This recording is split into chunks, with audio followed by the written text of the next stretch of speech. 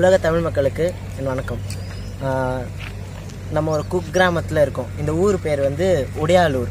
கும்பகோணத்துலேருந்து ஒரு சிக்ஸ் கிலோமீட்டர்ஸில் இந்த ஊர் இருக்குது ஒரு விஷயம் கேள்விப்பட்டோம். அது உண்மையா அப்படின்னு பார்க்க தான் நாங்கள் வந்தோம் ரொம்ப ஒரு கஷ்டமான ஒரு விஷயந்தான் இங்கே நடந்துகிட்ருக்கு ஏன்னு கேட்டால் அதுக்கு சரியான பதிலாக எங்களுக்கு கிடைக்கல. இந்த வீடியோ பதிவே வந்து நிறைய பேருக்கு ரீச் ஆகணும். இது மா இந்த நிலை மாறணும் அப்படிங்கிறதுனால அதை மட்டும்தான். ஓகேவா? வாங்க பார்க்கலாம்.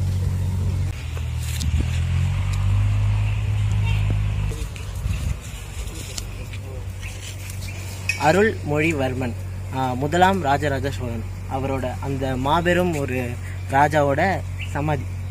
அவ்வளோ பயங்கரமாக இருக்குது பார்த்தீங்களா இது இந்த இது இது நம்பவே இல்லைண்ணா. இது அவரோட சமாதி தானே அப்படின்னு வாங்க பார்க்கலாம்.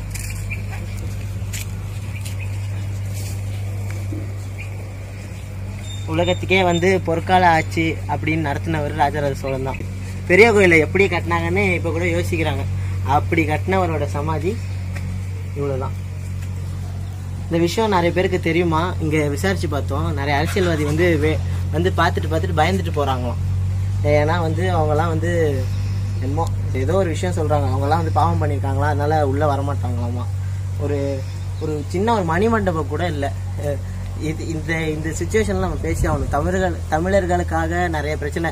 தமிழ் தமிழ்னு பேசுகிறோமே தவிர தமிழருக்காக என்ன பண்ணோம்? அவ்வளோ பெரிய ராஜா ஒன்றுமே இல்லை.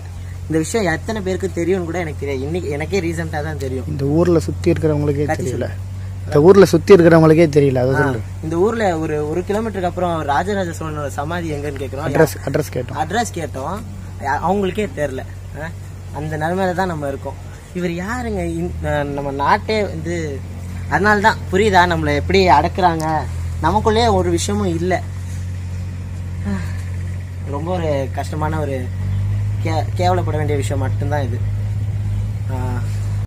பிரபலப்படுத்தாம இருக்காங்க. வாழ்ந்தது இப்போ யாருப்பா? இல்லை சமாதி தானே சொல்றது. ஆ. கடைசி காலம். ஆ. ரெண்டு ஏக்கர். அவர் வாழ்ந்த இடம். ஓகே.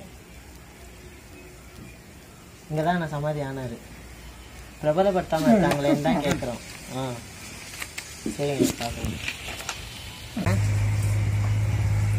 இந்த காலத்தில் அரசியல்னா என்னன்னே தெரியாமல் நான் நாட்டுக்குள்ளே வந்து நம்ம நாட்டோட செல்வத்தெல்லாம் சுரண்டி நம்மளை ஆண்டு அவங்கவுங்க குடும்பத்துக்கு சொத்து சேர்த்து. அதான் அவங்கவுங்க குடும்பத்துக்கு சொத்து சேர்த்துக்கிட்டு இப்போ ஒரு அந்த அரசியல்வாதி யாராச்சும் இறந்தாலுமே இந்த அவங்களுக்கு பல கோடி ரூபா செலவு பண்ணி மணிமண்டபம் இல்லை சிலை எல்லாம் வைக்கிற இந்த கவர்மெண்ட் பல ஆயிரம் வருஷத்துக்கு முன்னாடி நிர்வாகம்னா என்ன? அரசியல்னா என்னன்னு உலக உலகத்துக்கே எடுத்துக்காட்டாக இருந்த நம்மளோட ராஜராஜ சோழன் முதலாம் ராஜராஜ சோழனோட சமாதியை எந்த நிலைமைக்கு வச்சுருக்காங்க?